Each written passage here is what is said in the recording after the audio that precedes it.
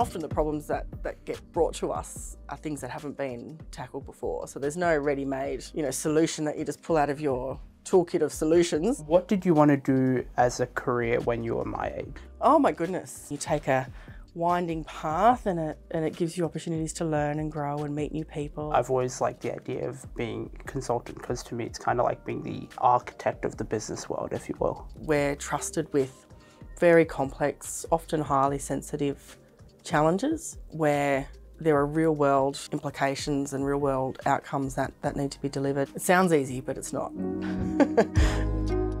My name's Sreenath Didugu. I am currently studying a Bachelor of Finance and a Bachelor of Psychology uh, here at the ANU.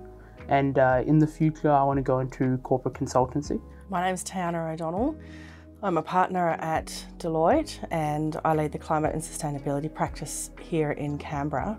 And I'm also an associate professor affiliate with the Fenner School here at the ANU. So today I'll be interviewing my future self uh, as uh, someone who's done a science degree and then gone into consultancy. At a dinner party, how do you explain what you do? um, great question. So as, as a partner in a management consulting firm, um, I describe what we do as really two pronged. One is, and, and, the priority would be that we solve really complex problems for our clients. They come to us when they need that help and they need, they usually need those solutions quite quickly. So we need to be able to scale uh, and have the energy to, to, to do that. So we solve problems, complex problems, and we build multidisciplinary teams around those complex problems. What did you want to do as a career when you were my age? Oh my goodness. Um, so I always had aspirations to be a lawyer, uh, and indeed I started my career uh, in private practice as a solicitor in environment and planning law. Um, but by the time I had got to to your age, and I'm just guessing what your age is here, I had already started to have an inkling that I wanted to do more than just understand the black letter of the law and apply it to to solutions for for people who needed that advice. And so I went back and did a PhD in climate change adaptation, and um, that enabled me to really build out uh, an offering that had lots of technical capability, um, but also breadth in terms of the kinds of issues and challenges and, and opportunities I could see on the horizon for our society. And so that's what I did. Um, but I didn't know at that time that I was going to end up being a partner at, at Deloitte. What do you look back on as a key turning point in your career? Hmm. I think there's been a few.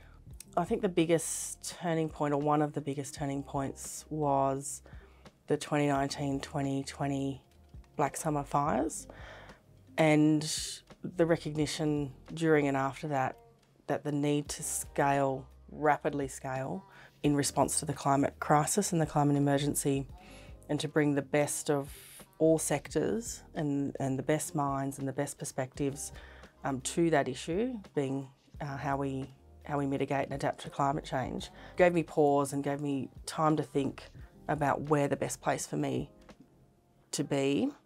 And, and so uh, it was a long, a long thought process, but I made the, the decision to go back into private practice and join Deloitte as a partner um, to be able to do that. And it was the right decision. How do you think the scientific thinking that comes from being in climate uh, science and uh, all those degrees, especially a PhD. How do you think that thinking has informed uh, how you approach not only problems, but how you craft your own solutions? Hmm. Um, it's a great question. There are pros and cons um, with, with, the PhD training. One of the cons would be in, in a PhD and in my academic work, there was always a lot more time to work through the theory and the theoretical underpinnings of what I was talking about um, there isn't always that, that time in consulting.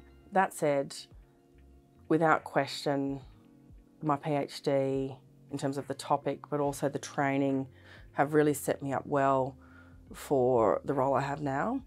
And probably, probably the main thing I would call out in that, well, there's several, I'll call that two.